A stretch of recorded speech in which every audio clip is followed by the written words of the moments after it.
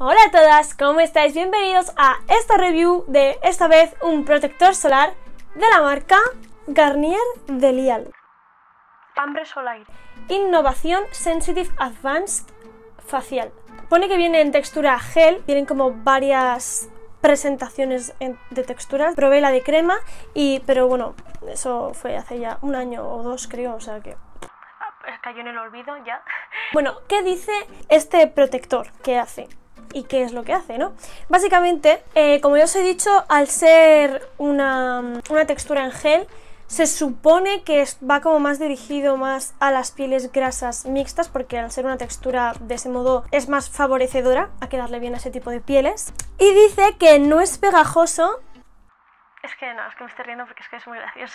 Eh, protege eh, un 50 plus, por lo que es de muy alta protección, y protege contra los rayos UVA, UVA largos y los UVB. No protege contra la luz azul y también pone que lucha contra los efectos de los infrarrojos. Además también dice que es hipoalergénico y promete que no es pegajoso o que no queda con esa textura grasa, entiendo yo. Así que vamos a empezar a desgranar este producto. Vamos a empezar por los ingredientes, eh, los cuales se compone básicamente de bastantes filtros UV, los cuales todos son químicos. Algunos de ellos son el homosalate, octocrilene, Ethilexil salicilate, entre otros que tienen nombres muy complicados. Pero básicamente que sí, que es verdad que es una protección muy alta, que protege contra los eh, rayos que dice. Además también dice que es un gel hidratante, que protege y refresca, protege cierto. Hidratante también porque según sus ingredientes tiene como activos hidratantes eh, ingredientes como la glicerina, el isotrexadicane, o algo así. Os estaré escribiendo estos nombres tan raros por si los queréis buscar, informaros, ¿vale? Y también el propilene glicol, un tipo de silicona. Esos digamos que son los que hidratan, ¿cierto? Además también tiene ácido hialurónico, pero esto está como en las partes más al final. Eh, también tiene eh, un par de antioxidantes, los cuales son la vitamina C y también la vitamina E, pero como os digo, están en la parte más inferior de la lista de los ingredientes, sea que tampoco tiene, pero no es como para tirar cohetes tampoco, ¿no? Tiene ciertos ingredientes que pueden resultar comedogénicos. No noto que me saque más granos de lo normal. Vamos a empezar a comentar ya un poco, porque dice que no te deja pegajoso, y entonces supongo que no te deja, se refiere a que no te deja ese efecto como grasa que te puedes freír un huevo en la cara, ¿sabes? Entonces, claro, me sorprende que no me haya dejado ningún grano porque al ser comedogénico y además que te deja una capa de grasa en la piel. Yo no sé, no sé, pero esto para pieles mixtas y grasas. Bueno, es que yo, creo que ni para, ni para secas, o sea, porque si tú puedes tener la piel muy seca, que necesite mucha grasita y mucha tal, pero es que te queda. es que yo lo siento, señores de Garnier, pero a mí no me gusta esa sensación de que literalmente te has pasado, te has barnizado la cara con aceite. En plan, que te toques la cara y dices, hostia, ¿sabes? O sea, y hasta que no se te pasa el efecto de, protección, o sea, como unas tres horas, no, no dices, uy, ya tengo la piel mejor. O sea, literalmente hasta que se te pasa el efecto de protección, porque cuando se te pasan esas tres horas tienes que volverte a aplicar. Entonces sigues con la cara modo aceite. Entonces, claro, que no es pegajoso, a ver, te toques así la cara y notas, ves cómo se te pega la manita, ¿sabes? Y... Yo no sé...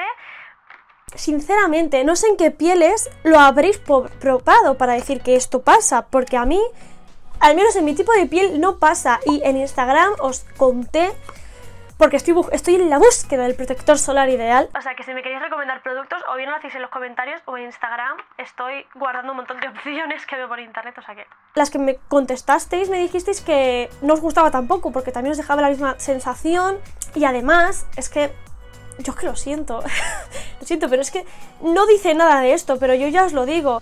Irrita los ojos una barbaridad. En plan, yo no sé si es porque mis ojos son muy sensibles o qué, pero es que en Instagram también me habéis dicho lo mismo. Hay veces que no me lo puedo poner ni por la ojera. O sea, los párpados me lo intento poner, pero es que hay veces que no puedo ponérmelo porque me acaba escociendo un montón, ardiendo un montón los ojos y se me ponen rojos y me lloran y todo. Y es que es un drama ir con el protector solar puesto. Entonces yo no sé, pero esto no... Yo no sé si es porque Mm, es, que, es que no sé por qué. En plan, no sé por qué. No sé si es por el tipo de filtro solar. Quizás mejor los físicos o minerales van mejor que los químicos. Tengo que hacer un vídeo, os tengo que hacer un vídeo de qué, qué características tiene cada filtro solar y para qué tipo de piel o de ojos, porque eso también es muy importante. Que un protector solar, mira, que a mí me quede mate y tal, todo súper bonito, pero luego me escuecen los ojos todo el día, es que es imposible de llevar, es que es imposible. Es mejor que la textura en crema, ¿vale? Pero es que se hace, se sigue notando pesado a la hora de llevar, se sigue notando grasiento a la hora de llevarlo. ¡Ah, que se cae! Me es muy incómodo. Hay otro protector solar de Garnier que quiero probar, que es justo la, que, la misma que me dijo que este le iba fatal, como a mí. Eh, había otro que era todo lo contrario, que se parecía al Antelios no sé qué de la Roche-Posay. Entonces ese también lo tengo que probar, está pendiente, lo juro, mm, porque es que ha dicho que también va a hacer una reseña que yo estoy pendiente ahí a ver si lo veo. Es que tiene buena pinta, o sea, también lo quiero probar. Es una pena, la, la verdad, porque es que es muy fácil mi acceso a él, pero no me funciona bien. Entonces, básicamente, ¿para qué tipo de piel lo recomendaría? Es que no lo sé. Quizás para ultra secas, pero es que tampoco, porque es que no sé si es solo a mí lo que me pasa de los ojos, pero si digamos que le pasa a todo el mundo, es que no lo recomendaría para nadie, porque es que es muy incómodo de llevar, ¿vale? Porque encima, es que encima parece una bombilla, es que... Digo, venga, va, puedo soportarlo, da igual, ¿vale? Mentalidad fría. Pero es que en los ojos es imposible. La única que se pone son algunos ingredientes, pero... Eh, lo siento, este no lo recomendaría. Pero bueno, esta es mi opinión, esta es mi reseña.